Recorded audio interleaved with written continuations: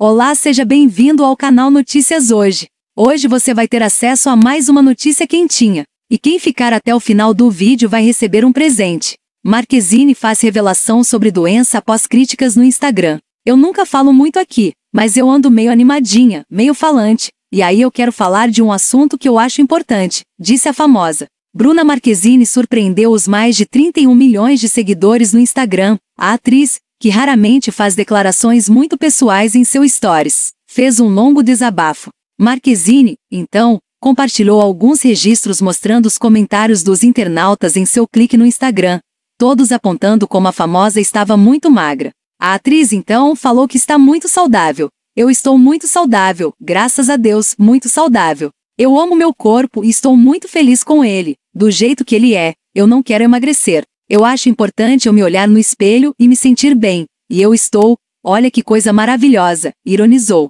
Essa foi a notícia de hoje, espero que tenham gostado. Me diga aqui nos comentários de que cidade e estado você é, para eu saber até onde está chegando nossos vídeos. E agora para você que ficou até aqui, vou te entregar o presente como prometido no início do vídeo. Para acessar basta clicar no primeiro link na descrição abaixo. E se você não se inscreveu ainda no canal, Aproveite para se inscrever e ative o sininho para não perder nenhum vídeo. Te vejo no próximo vídeo.